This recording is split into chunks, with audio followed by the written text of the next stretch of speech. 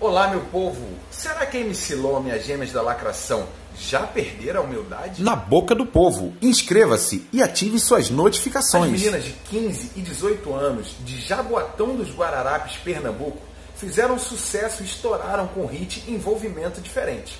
E você só não sabe disso se você estiver vivendo em outro planeta. Envolvimento diferente,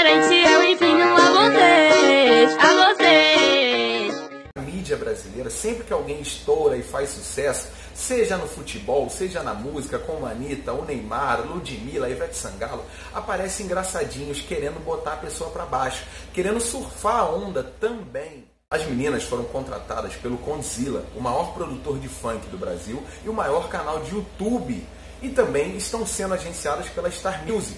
Então vocês acham mesmo que a própria MC Loma, que atende o telefone para marcar entrevista em outros programas e faz exigências como helicóptero, entre outras coisas?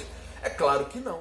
Recentemente eu vi no Danilo Gentili uma entrevista delas e eu vi ali três meninas super engraçadas de forma espontânea, o que é muito difícil no país de hoje, e também muito criativas.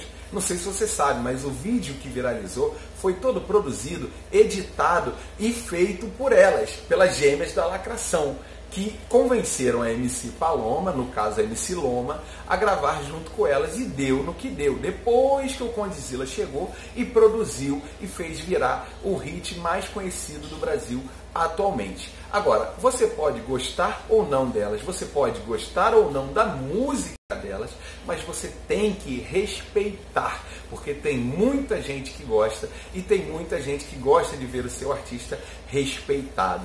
Esse é o Brasil que a gente precisa, o Brasil que a gente quer, um Brasil onde a verdade absoluta não existe, onde as pessoas não podem sair falando a torta e a direita sem ter o um mínimo de consequência.